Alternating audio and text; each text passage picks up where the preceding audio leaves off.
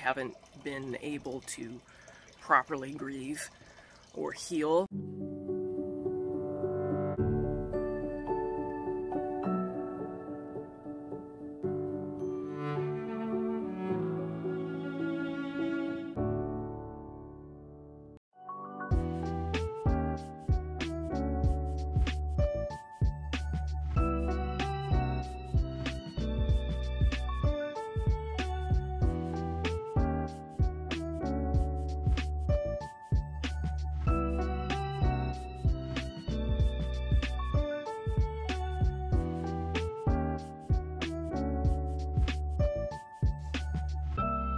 Good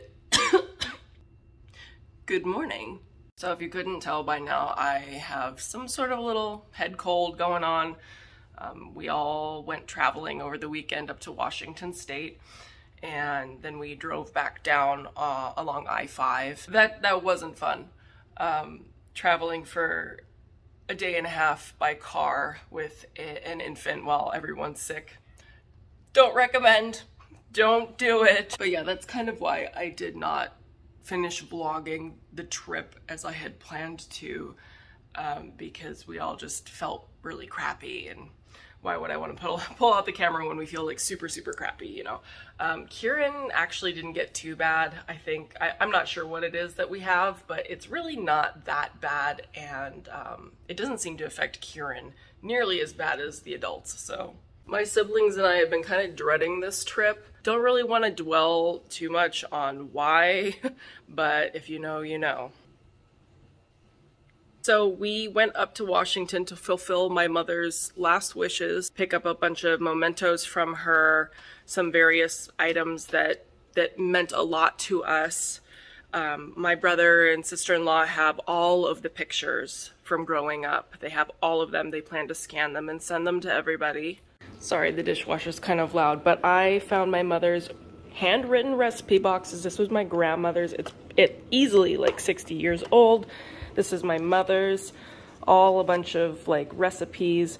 This is Swedish potato sausage. And again, this box is easily like 40 years old. I really want to scan all of these handwritten recipes and create a book. I'm also, it's, it's gonna be a big task. I also wanna make some of the recipes so I can get some nice pictures of them and then create a recipe book of you know, recipes from our mom and our grandmother and uh, give a copy to, to all the family members. I was thinking this would be such a beautiful cover to that book. There's two other boxes. They're just, uh, I think they're, yeah, in that suitcase over there. Some other things that were very important to me were my mom's beautiful, I, I think they're Princess House dishes. They have like this beautiful poinsettia design on them. We ate her wonderful food off of them for every Christmas and it was just one of those things that meant a lot to me. And then of course there's these beautiful calla lily dishes from the 80s that belonged to my grandmother. And these were left to me by my grandmother. Um, she's, she's been gone since 2001 and uh, I finally have them. So very, very happy those didn't get thrown away. Because unfortunately a lot of things did get thrown away.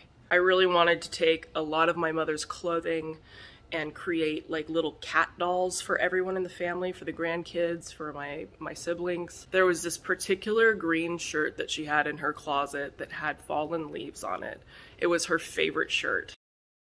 Unfortunately, that got thrown away along with everything else in her closet. There was just one holiday sweater that I had taken home with me before she passed away. I'm so grateful that I have that. But there was one stack of nightgowns that did not get thrown out.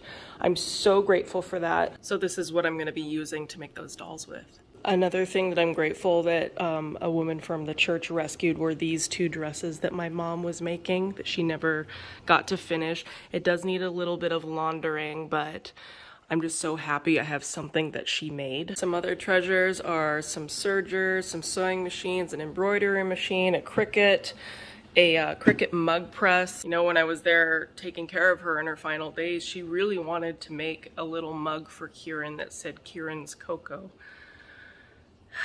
and we just never got around to it. So um, I really wanted to have that so I could make that in, in her memory. There's a printout picture of me and my mom when I was 14. What else?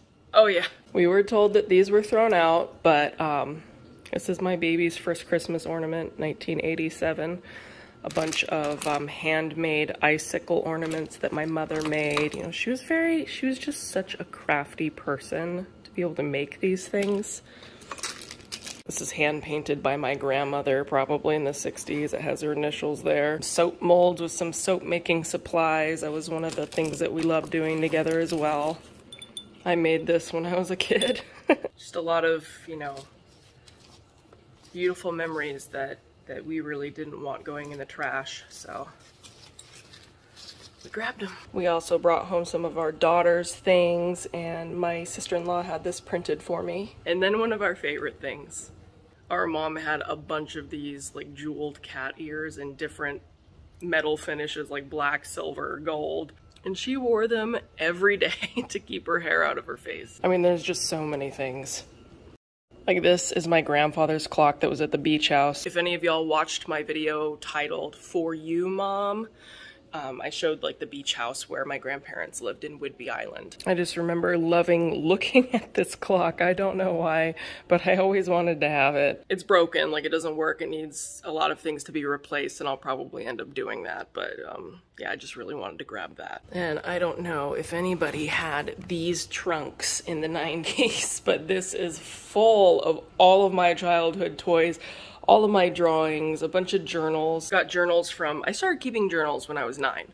So there's, there's still my journals from all those decades ago. Again, you know, something that I was told was thrown away, but I'm, I was very grateful that it actually wasn't. And then I'm just keeping a few things over here on Kieran's um, home school table. My mother collected a lot of Jim Shore and when her cat, Miss Kitty, passed away, I bought her this little figurine that's supposed to represent my daughter holding her cat in heaven. She also was obsessed with succulents and this is one of the succulents that she planted a few years ago. There's some various um, knickknacks, and of course her beautiful urn that she guided me to. I also grabbed one of her favorite coffee cups that she used to drink out of every single day. It still had like the stains from her coffee in it.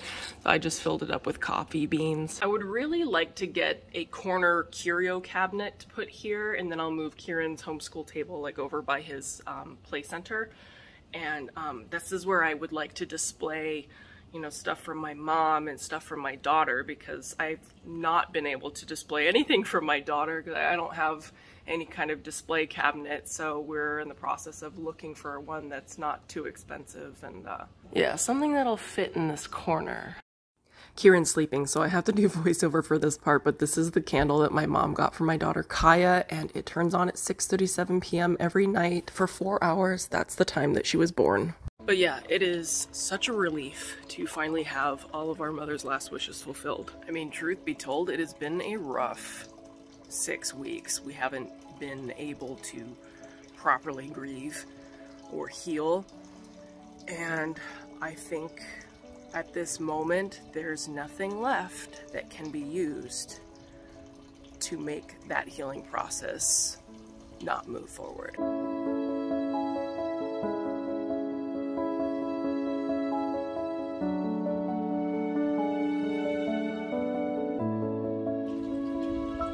Finally free.